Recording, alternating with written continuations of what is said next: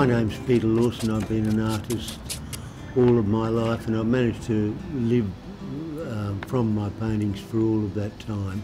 The life of an artist is, uh, uh, or at least can become quite infinite uh, indeed because uh, like a whole lot of creative uh, things that one takes on, the more you know about it, the, the more you realise you've got to learn. So um, here I am uh, talking to you as a, uh, a complete beginner.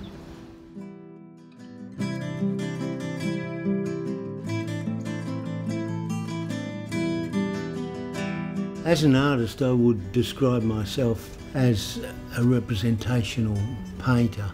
In saying that, uh, of course, one always um, looks for uh, something that loosens their work. And so I have been regarded over the years in different articles as an impressionist.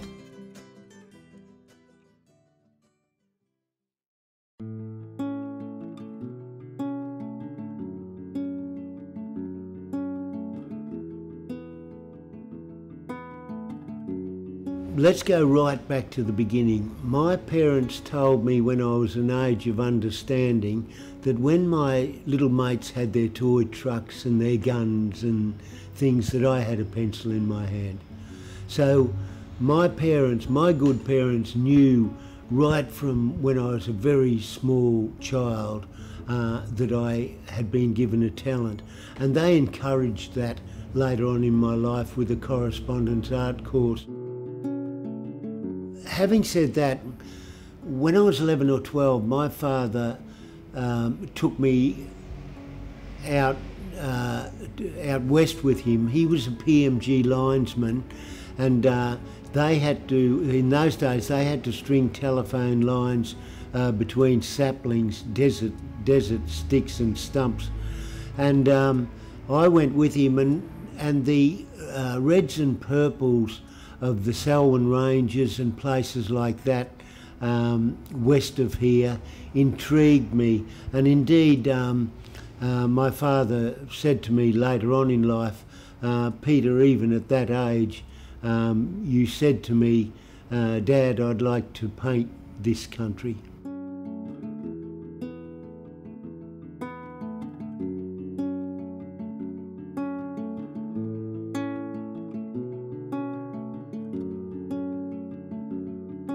Having grown up in Townsville, having schooled here, having crabbed its creek, having uh, fished its waters, and having wandered all around this city, I'm basically in love with it all. And um, uh, I love iconic uh, Castle Hill. I love the way that it backdrops most of the cities, and in fact, I've used it as an artist many times to do just that uh, our wonderful Mount Stuart out here and many peaks and, and the surrounding mountains of this once upon a time volcano um, have always intrigued me all of my life. And even though I've been intrigued in uh, by many things as I've travelled and, and I've travelled to other countries many times uh, I've always uh, been sentimental sentimental about Townsville and always imagined that I would paint around this area for the rest of my life.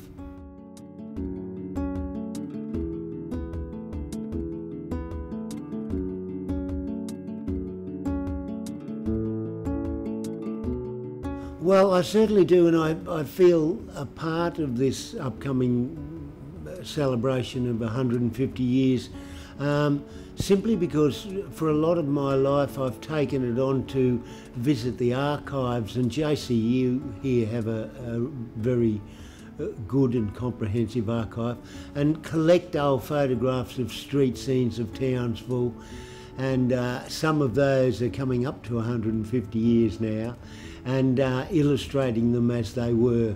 Horse and carts women in long gowns uh, the whole lot so after doing all of that work uh, on illustrating the history of Townsville, of course I'm very pleased to be a part of uh, our 150th celebrations.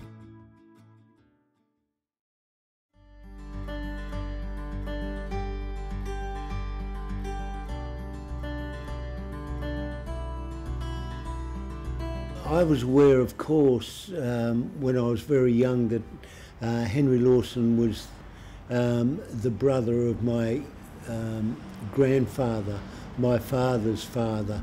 So, um, of course, um, as as a fairly young boy, I became uh, aware and even became quite fond of his stories and his poems. So, by the time I was about 19 or 20, I became interested in illustrating um, uh, the, the writings of my uh, great uncle, Henry Lawson.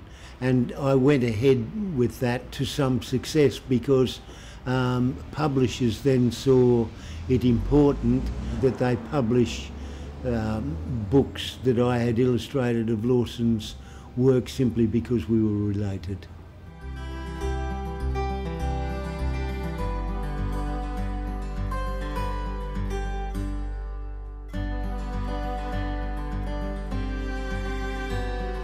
One of the very earliest things that Dennis Hardy said to me, and I've used it often, and I used it just recently talking to students or talking about students.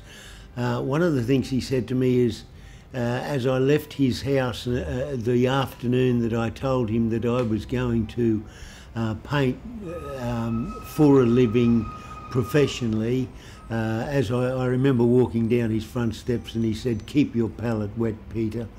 So um, I, I, he was important to me in that sense. And then, of course, um, we went on to illustrate books together, both in both on uh, Charters Towers and Ravenswood.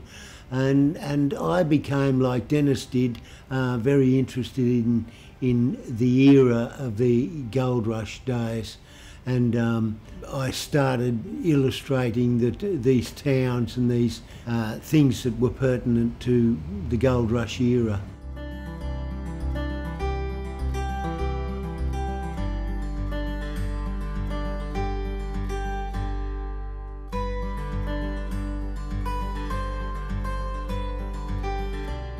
I have a bit of a soft spot for pioneering days, and I've worked uh, with that era a lot.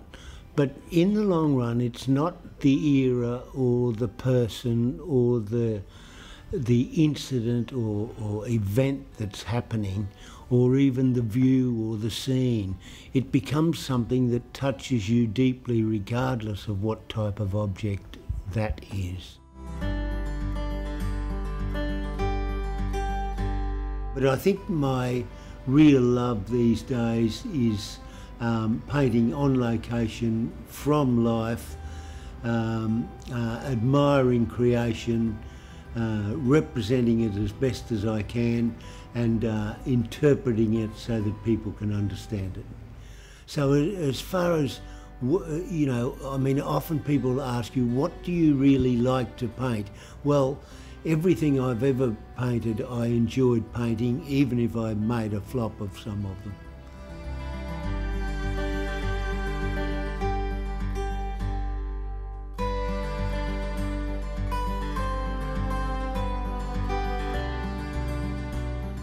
a very close friend of mine, but I don't think that painting will ever be shown. However, all are interesting in their own way.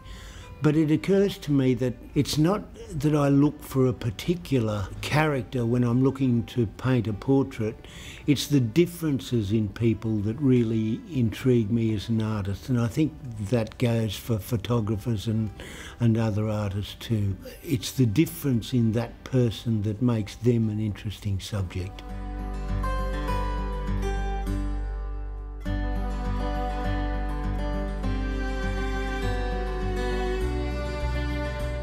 Uh, subjects really choose me rather than me choosing them. They appeal to me for different reasons. And after a long time painting, you realise that you are surrounded all of the time by subjects. And so you choose what touches you as an individual most. Then I believe you're working within your purpose.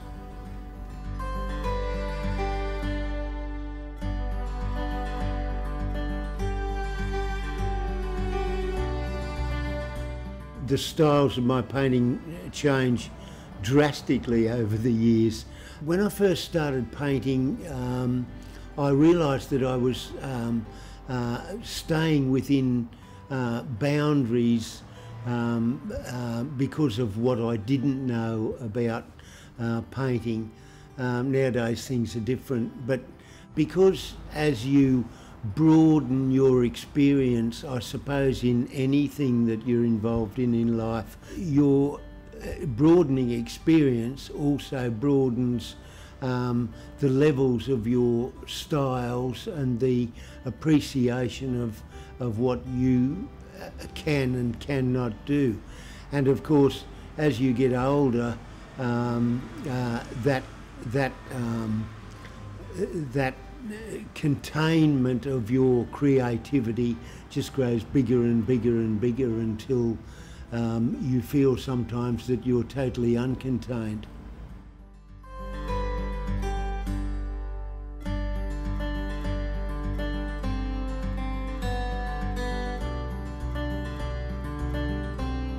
Over some 50 years of painting, of course, you do a lot of work, thousands of paintings indeed. And thankfully, a whole lot of people out there have collected that work over the years. I only have so much work here, so all of the other work has obviously gone out into the onto the marketplace.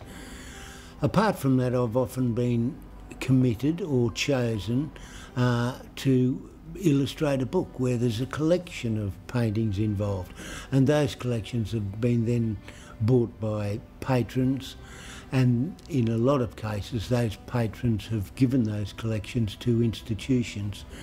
Uh, consequently the Townsville City Council uh, and the Townsville Hospital to name a couple of them have large collections of my work.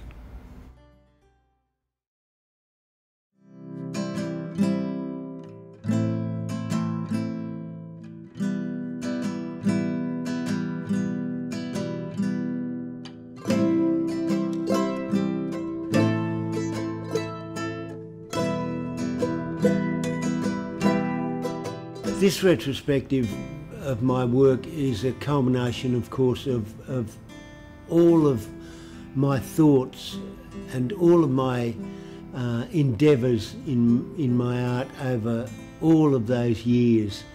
And uh, so, in that sense, I think um, this um, exhibition is my most important exhibition ever.